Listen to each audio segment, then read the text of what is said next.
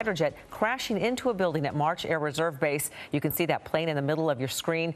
We've slowed the video down and looped it. The pilot ejected and survived. Good evening. I'm Ellen Leyva. And I'm David Ono. This is Eyewitness News at 6 o'clock. That plane crashed at the end of the runway while landing at March Air Reserve Base. Chris Cristi begins our coverage. He's over the scene in Air 7. Chris?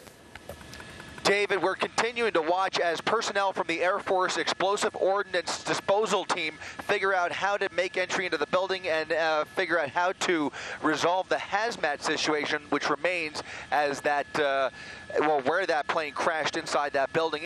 Hello, I'm Marc Brown. Click the ABC7 logo to subscribe to our Eyewitness News YouTube channel.